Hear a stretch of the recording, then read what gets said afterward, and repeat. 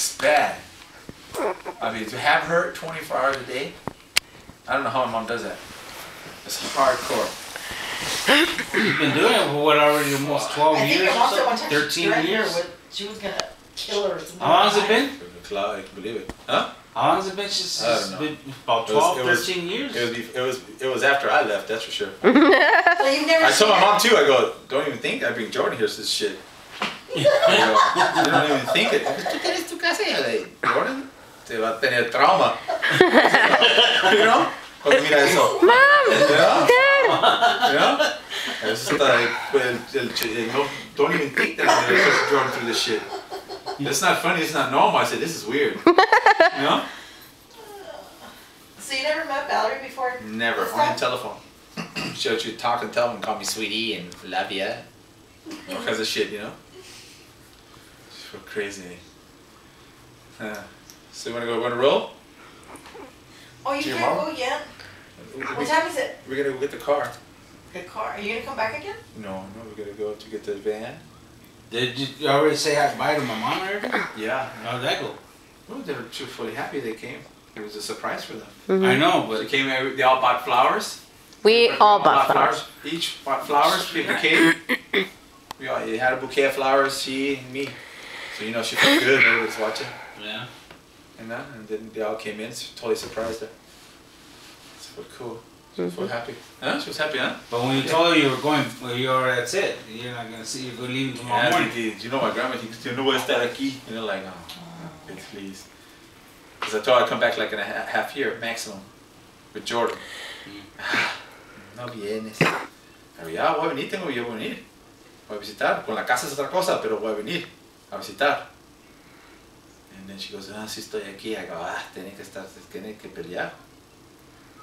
But she can at least see the next generation, you know? you know?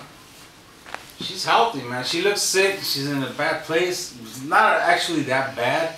It is bad, but it, compared to what she was last year at this time, oh, you you feeling me? What the fuck?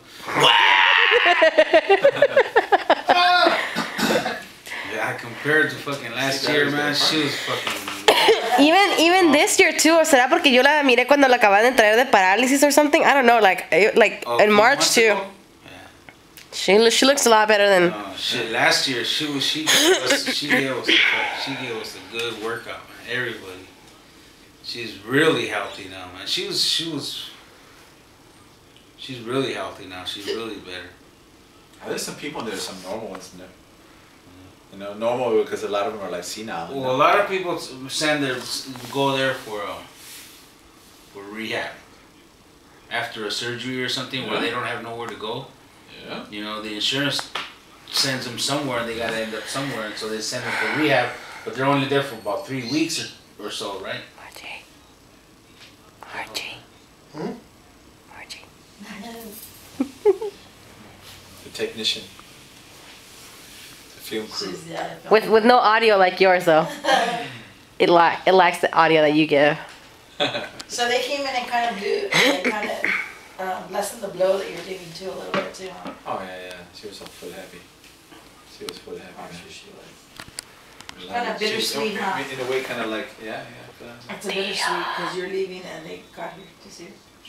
Yeah, they- they- the worst thing is because you know for them it's always like Crazy you know, kicks 'cause it. when you're not so Cholo, far away, you know, right far there. away, you know. Did they find her shoes? Crazy. I don't think so. She said, she said today they had uh, que les quitaron los zapatos. So some shoes, you know, they're like a couple days later gone.